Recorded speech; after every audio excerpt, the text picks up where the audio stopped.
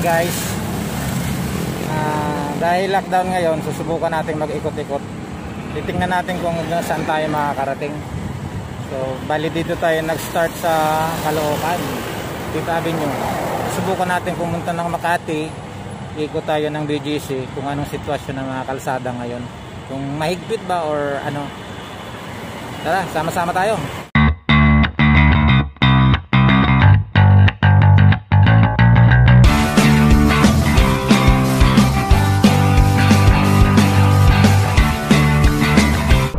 tingnan natin kung gaano kahigpit ang lockdown sa NCR so dito tayo nag-start sa 5th Avenue Caloocan.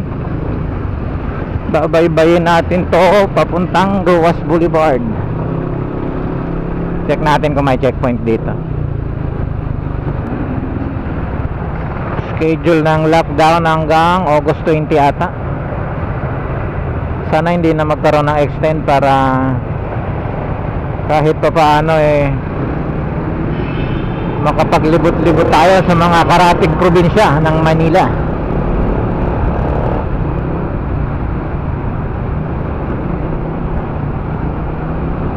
Saka may plano rin tayo pagkatapos ng lockdown.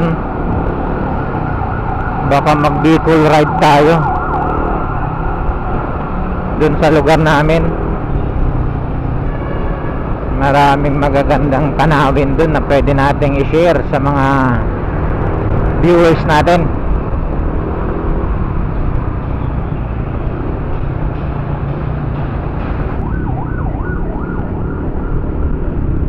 Dito sa lugar na to ang dami pa rin tao sa labas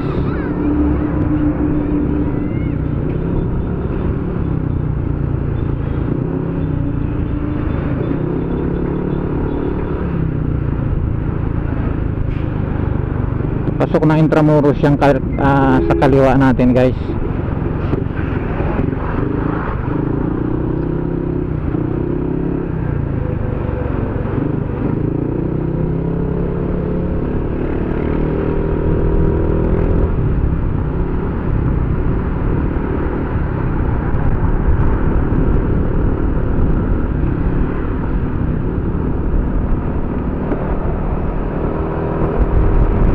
nandito na tayo sa tapat ng Luneta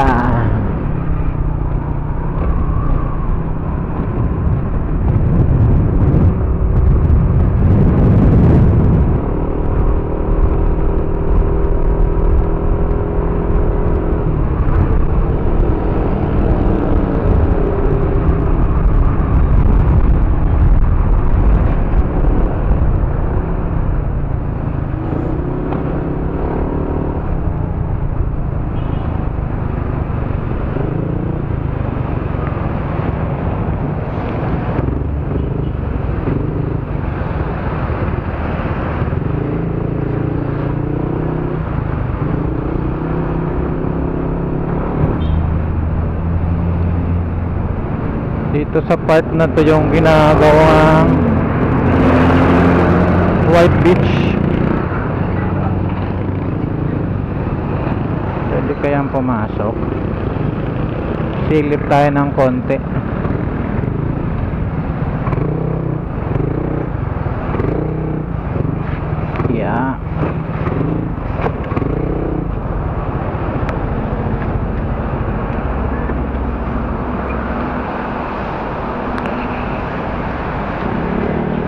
Bale, ito yung ginagawang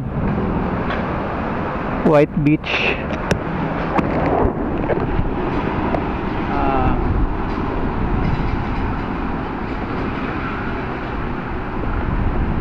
ang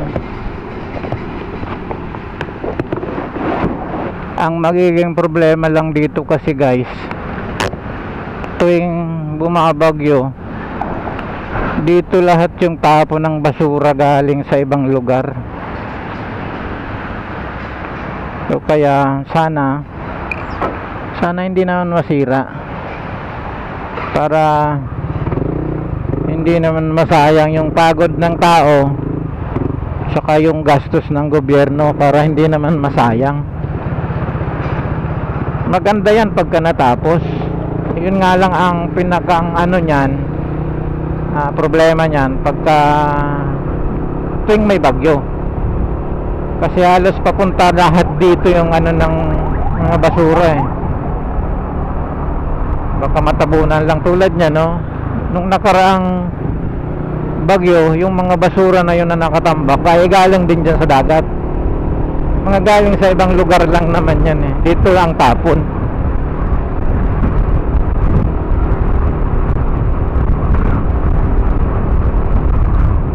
kaya isa yun sa mga rason na nakikita kong oh, mapapaganda nga natin kaya lang yun nga ang problema.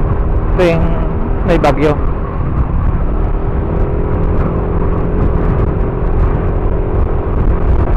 So bali yun ang update natin dito sa Manila Bay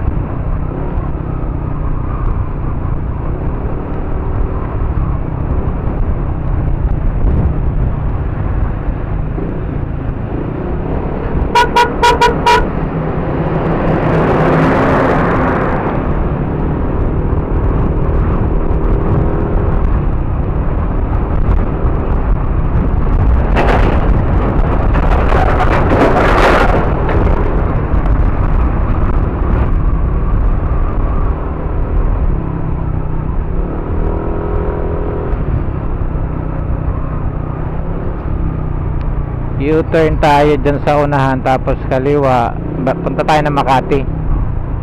Ikot-ikot tayo sa Makati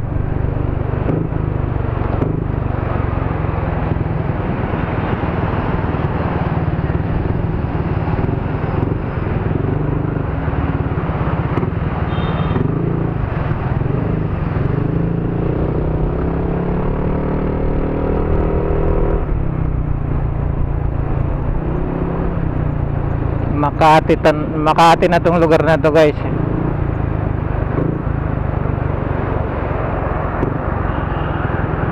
Tingnan natin kung makakapasok tayo ng BGC so hindi ko kabisado gaano sa BGC saka dito sa loob ng Makati kailangan natin ng Waze okay let's go bahala na si Waze sa atin.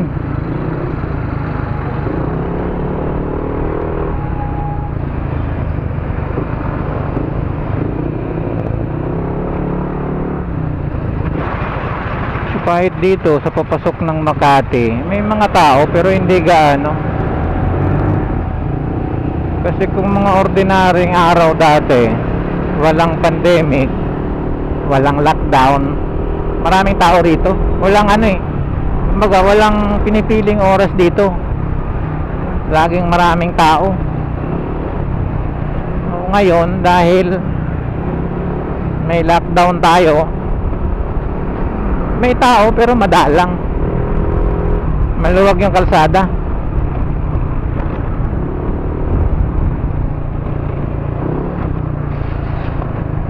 Skyway yung nasa taas yan yung tagos ng balintawak.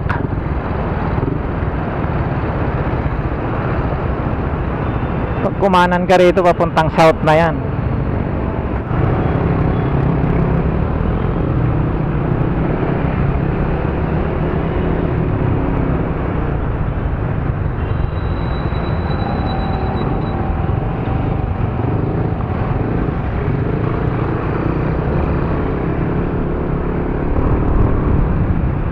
Makati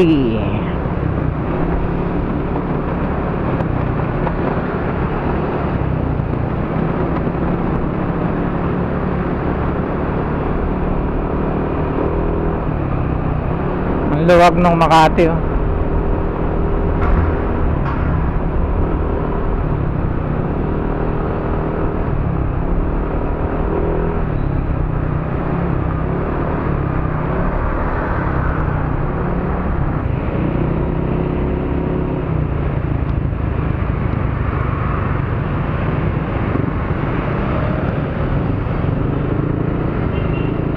Ayala Avenue, turn right.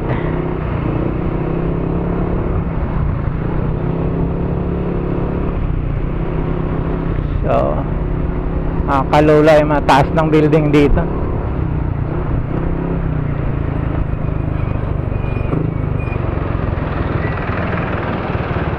So, nandito tayo sa gitna ng Makati. City Tour. ECQ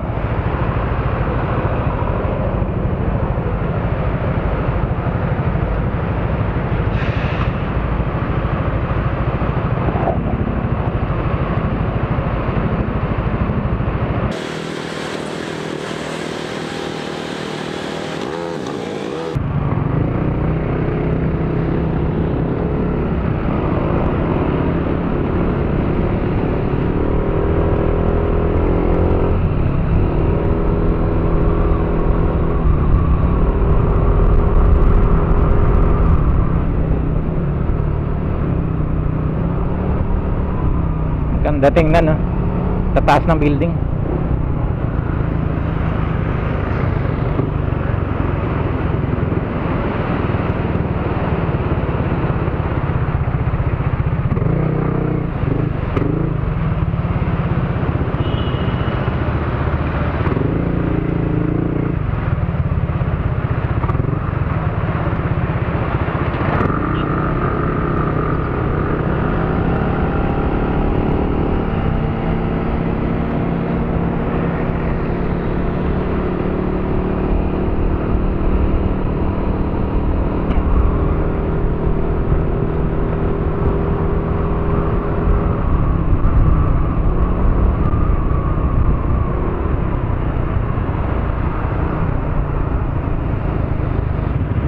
Next na stoplight kasi yun na guys. EDSA na yun eh. So ang turo sa atin ni Waze, oh hindi tayo aakyat ng tulay. Dito tayo sa baba ng tulay.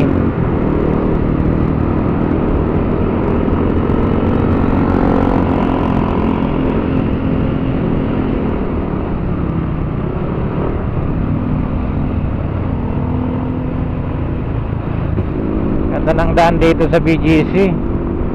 Daming puno. First time kong dumaan dito.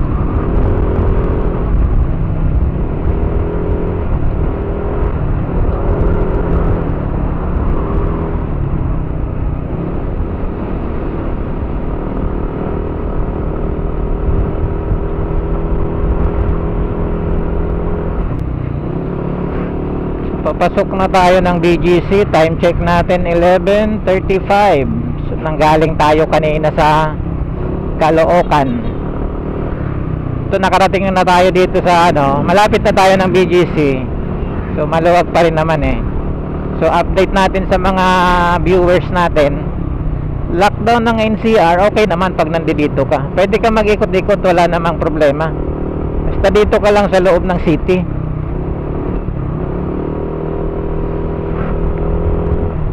Ang mahigpit lang, ang lalabas ka ng probinsya.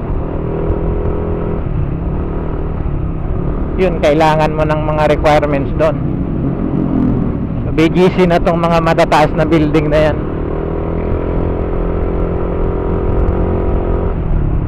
Turn right and turn right. BGC.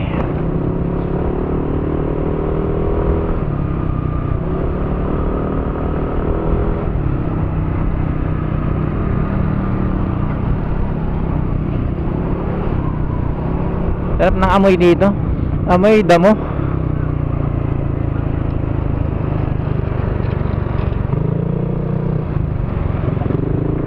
Nandito na tayo sa BGC ngayon. So ikot tayo ng konti. So, babalik din tayo ng ano. Babalik din tayo ng Quezon City. Roundabout. Ikot tayo ng konti dito sa loob para makita din natin yung itsura ng BGC sa loob.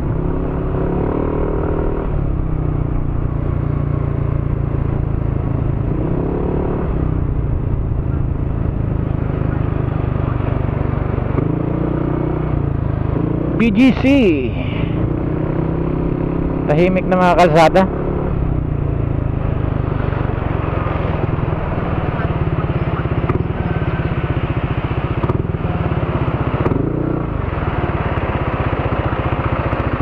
24th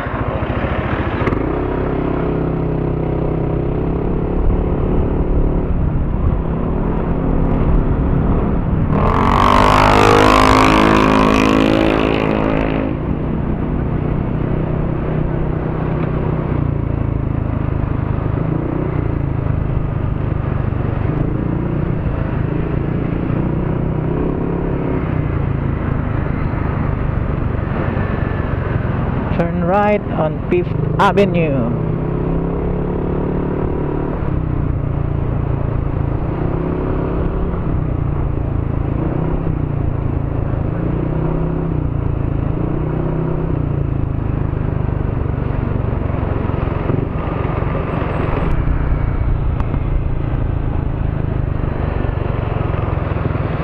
Twenty eighth Street.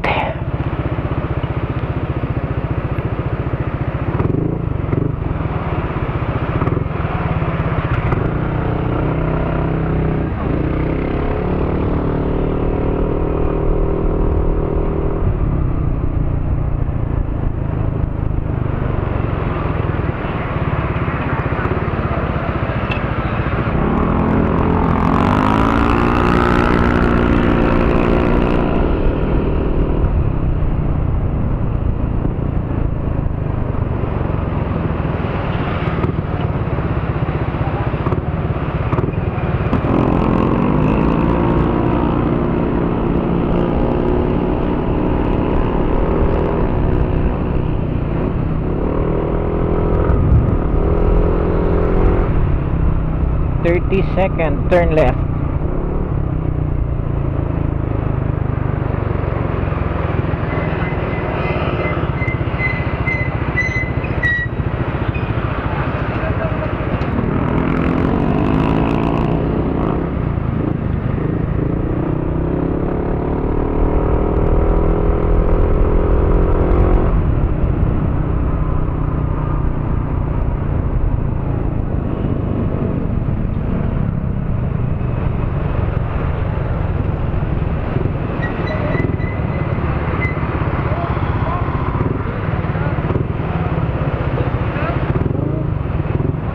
palabas na tayo ng BGC guys.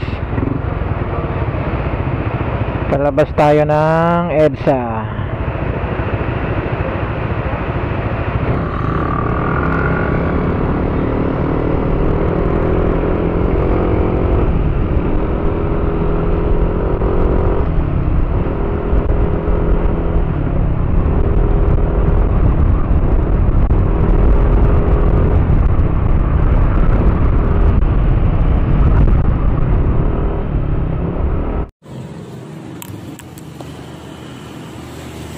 So yun guys, nakabalik na tayo ng Quezon City. At nakapag-ikot-ikot tayo. So far wala naman tayong naging problema sa kalsada.